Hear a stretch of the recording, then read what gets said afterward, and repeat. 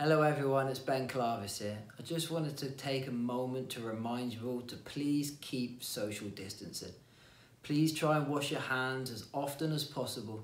Try not to touch your face and most importantly, try to stay at home as often and as much as possible.